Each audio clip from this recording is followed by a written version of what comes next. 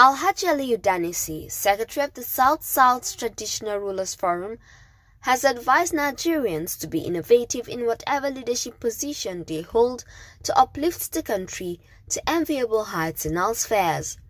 Danesi, who is also Oba Idanisi II Adonogi of South Ibia Kingdom, gave the advice at the launch of a book entitled Disruptive Leadership, A Necessity of the Now. You should be an innovative leader. You should not be a slave to procedure. You should not be a slave to, oh, this how it's being done. The fact remains that life changes every day. Few years back we were analog, now we are digital. Few years ago we have landlines, but now there's a telephone in everybody's hand, wherever you are. Things are changing, and we need leaders who can change, change things as life progresses. We cannot be static, or else the train will leave us behind. So the fact remains that, like I have told them when I gave a short speech inside, is that not only do we need disrupt, uh, disruptive leaders, we also need disruptive electorate. Because it's the electorate that elects the leaders. If the electorate is disruptive, they will be able to identify those leaders who have the competence to be disruptive in their leadership role and elect them. The book is authored by the 82 pioneer graduates of Course 1 batch of Master of Philosophy in Leadership and Strategic Studies of the Nigeria Defense Academy.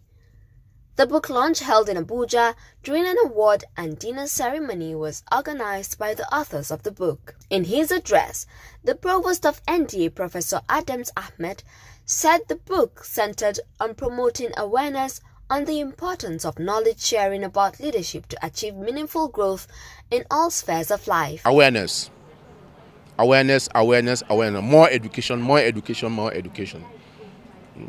Yeah, because if people are aware, if people have the education, um, education can take you to to your dream. Education can take you to any height in the whatever sectorial area you look at awareness can take you to any height, any height to be able to achieve those things that are positive and those things that are constructive. So we should spread the education. Leadership problem is uh, cut across the continent, is uh, trans-border, it's intercontinental. Wherever you go, you have a problem of leadership, either deficit or overdose. Uh, it depends on the perspective one will look at it. But however, because some of them have, you have seen that have, that have undergone this course, the MPhil, Master of Philosophy in Leadership and Strategic Studies, they've gone, undergone programs, they've gone courses, they have gone training that will assist them in doing better what they've been doing. Because that's actually the target of the program. The program is that whatever you are doing, you can do better from the theoretical and practical perspective. I agree, it's elitist because it's not every Nigerian that is there. But the leaders, like, you know, you have listing, you get the team, you train the leaders and the leaders go and impact it on the society. Dr. Bem Audu, Director of the Center for Leadership of NDA, congratulated the 82 persons who graduated from the Academy's maiden MPhil Leadership and Strategic Course 1. According to him, successful completion of the Course 1 qualifies the graduates to enroll for their doctorate degree in Leadership and Strategic Program in the Academy. What they did is MPhil, MPhil in Leadership and Strategic Studies, which is a qualifying degree for PhD in Leadership and Strategic Studies. MPhil is for those that are switching from different fields to come into leadership studies. Because they don't have that background in leadership studies, they have to undergo a, an MPhil program for them to be qualified. Some of them have professional master's degrees. And for a professional master's degree, you're not qualified to do a PhD. So they need that MPhil to qualify them for a PhD. You know, PhD is purely academic, but some of them have professional masters in their various fields. The book reviewer, Professor Shahid Zakari, explained that the book is made up of 72 chapters and a total of 1,282 pages in two volumes. The Leadership and Strategy Study Program under the Directorate of Linkages and Collaboration of the Nigerian Defense Academy, have upgraded this quality in all the participants, which reflected in the compilation of this book titled Perspective of Leadership and Security in Nigeria. The book is made up of 72 chapters with a total of 1,382 pages, arranged in two volumes. The volume one of this book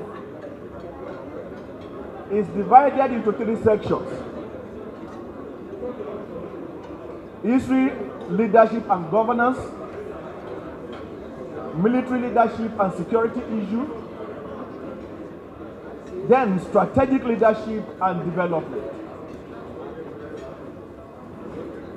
The volume two also has uh, five sections grouped under sub-teams like leadership and conflict management, leadership and international relations, emerging issues in leadership, corporate leadership, then indigenous leadership and local administration. The event attracted governors, ministers, lawmakers, the Director General of National Youth Service Corps, Commandant of the NDA, and Reinhard Eckhardt,